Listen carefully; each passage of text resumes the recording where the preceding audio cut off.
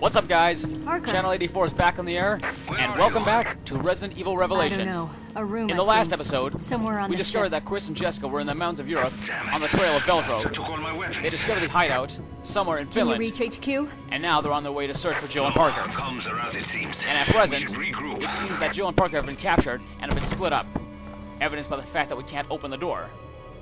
But as the camera pans to the left, we have a pretty good clue. We need to pop the lid off of that electronic unit and rewire it so we can disable the lock. So we gotta search the room and see what we can find. In here is a dirty bathroom and a clue as to where the screwdriver might be. But there's nothing there.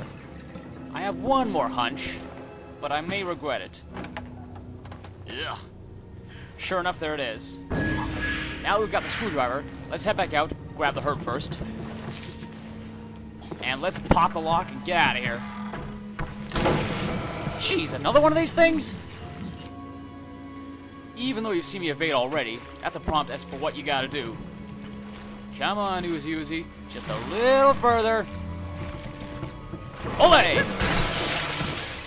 Don't let anybody on TV these days. Now, with danger averted, let's do this.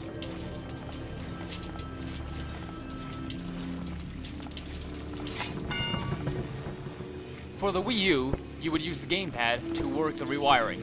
I'm sorry I don't have the picture up, but um, I haven't quite figured out how to get the um, gamepad screen to display. But enough about that. We've opened the lock, let's get out of here. We're practically defenseless, but you can still grab your ammo and stuff. Oh look, another ruse. Can't touch this! Jill, you can't fight without a weapon. Just do your best to dodge. Okay, so coming through here, this is known as the public bathroom. You can get a quick herb right here in the corner, and as soon as you do, run back out and don't stop. No sense fighting when you can't defend yourself.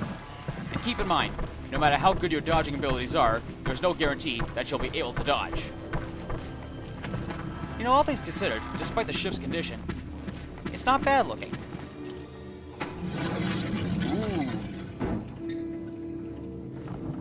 We're not going to be able to get the keycard to open these safes for quite some time. So let's just keep going. Seeing as how we have no weapons, no equipment, no nothing, picking up whatever we can get our hands on is highly recommended. The extra bullets will come in handy. And what's this? This particular shotgun is called the Wyndham. The item we need to release it will be coming up in episode 3. But for now, let's just grab our bullets and get the hell out of here.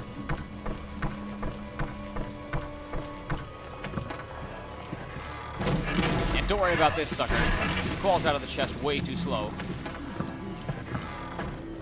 Alright folks, coming up, we're gonna need to use some stealth in order to save our skin.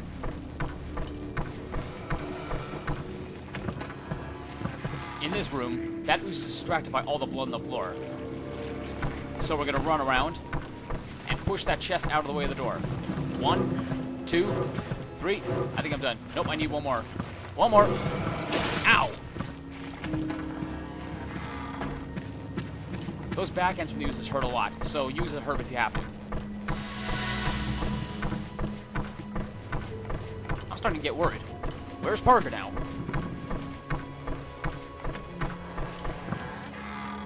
Jill, are you okay? I'm fine, but the ship's crawling with BOWs. Okay, we're going to need our weapons. I think I saw them on my way here, but I couldn't reach them. We should be okay as long as we work together. I never thought I'd find myself saying this, Parker, but it's good to see you again. Wait, there are more creatures this way. So, did you bring me any presents? I found this though. Think we can use it? The best present of all. Yeah, it just might do the trick. You may recall that I used them against the zombie wolves in the mountains. Against these oozes, they're also very effective. Not all enemies fall victim to the decoy, though. Made you look. The weapons I found are just up ahead. Hurry. Okay, so Parker gave me three of them, but I think I only used two around here. If an enemy doesn't go for it right away, it'll detonate on its own. Oh, another one of you? I think I'll just dodge. Ah, crap, you got me. Hit the left stick as fast as you can. Kick him off and run past if you can. That could have been a lot hairier. Right around here, we have the first of many custom parts. Not all custom parts are the same, and they don't always fit on the same weapon. Alright, there's our stuff. And a peculiar looking box as well. Let's go into a little more detail as to what this box is all about. This is a weapon depot box. You can store excess weapons here, like extra machine guns, shotguns, rifles, or whatever you get. And at the same time, any custom parts you pick up, you can fit to guns. Like right here, I only have my one pistol, and this custom part, damage 1, which gives me a 10% increase in firepower. Good thing too, because if you remember my shooting from the last few episodes, I'm gonna need all the firepower our I can get. Now what? Now we contact HQ and tell them what the hell is going And on. being the overly curious person I am, I went into this room to see what I could find. Let's go. All it got me, though, was a stiff backhand from a news, This is the room I was stuck in. and nothing of remote value. By the way, what's the deal with that guy in the gas? Alright, enough enough chit chat. Let's get out of here. Guess I'm not the only one with bad aim. Well, I guess since Parker's stunned I might as well finish this sucker off. But at the same time, I'm gonna need to find myself a herb really fast, because I don't want to take too much more damage.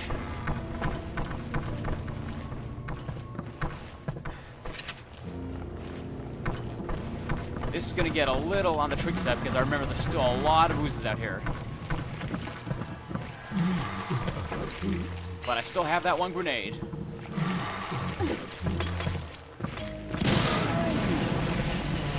Alright, with these guys taken care of, time to pull out the Genesis. If you remember the beach episode, 100% scan of corpses will give you a free herb. And so far, 46% off the three corpses, that's an excellent start.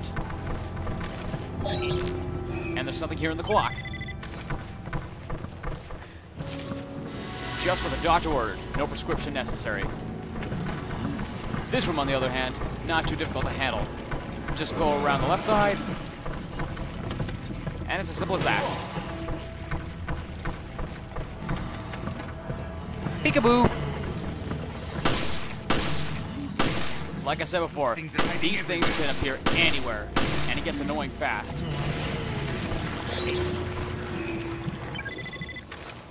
Now we're up to 60%. Alright, so we're gonna grab ourselves some more bullets. Nothing else here to scan with Genesis. So let's go back the way we came.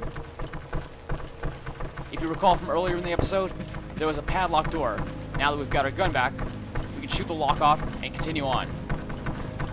At the same time, on the way back, we can contend with any nasty oozes that we couldn't before. Like right here. That sucker that hit me with that forearm shot. Parker's keeping him at bay. Now it's my turn to get in on the fun. But it seems like despite having the damage part on, I'm still not killing him faster. Oh, look at that. In the blood, there's something else to find. Just as I thought. More bullets. It seems cliche that I'm only getting nothing but bullets, but at this point, no sense complaining. The more bullets you have, the better. I don't think I need to say what this is. Nope.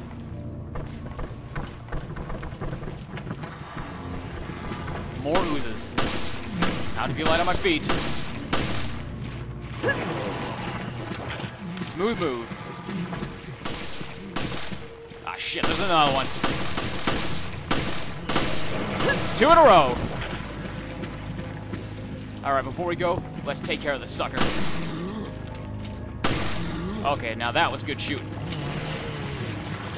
Alright, so now we just gotta bypass the public bathroom and we should be on our way out of here. Yikes! Not ready to deal with you yet. What you just saw was a pincer ooze. It's a further mutation of a normal ooze, except it has longer arms with barbs. If it hits you with a double claw swing, it's going to cause even more damage than a backhand from one of these suckers. Damn, my dodging's getting good. Alright, now the lock's taken care of, let's go on. And even though it seems I've been passing over items, don't worry, in the next episode, we will be coming back through this way, and I can pick up whatever I missed. And believe me, there's a lot. This elevator gives the option to go to the bridge or to the lower cabins. So let's go to the lower cabins first and see if there's anything of use. I must have what they call the ESP.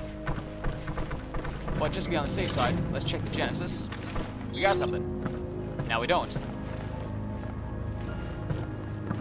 And we have something again.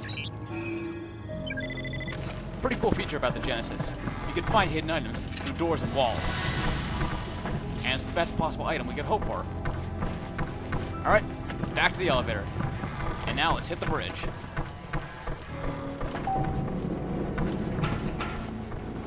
You'd think being stuck in this elevator for quite some time, that Jill and Parker would make some small talk. But I guess with a difficult mission at hand, small talk is not the thing you want to be doing. Although, if I recall correctly, in other episodes of the game, when two people are stuck in an elevator together, there is some dialogue. I don't exactly remember which episode or which level, but I guess we'll see it when we see it. Alright, here we are. It's dark and gray. And apparently we're not alone. In here we got a bunch of lockers. So let's see if we can find something. Nothing on that one. I can definitely use that. Strike two.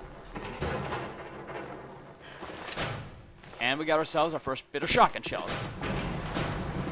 Those will definitely come in handy later, especially once we get that shotgun released from the wall in that I'm one at the cabin. bridge. Before we finish the level, let's do a quick scan of the area. Yet another item uncovered.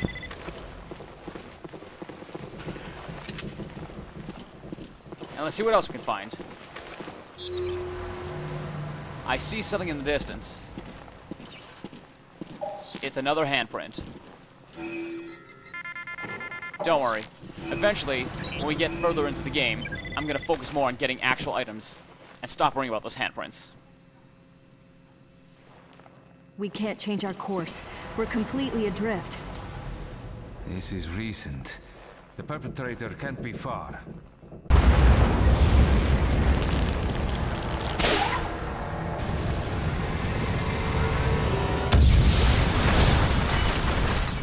Don't tell me that was the tugboat. Shit, we'll be stuck here. Jill!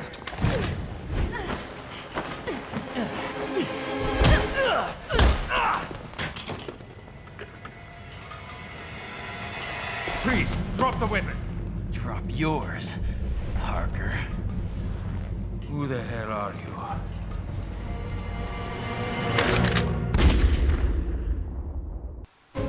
Ladies and gentlemen, this brings episode 2, Double Mystery, to its conclusion.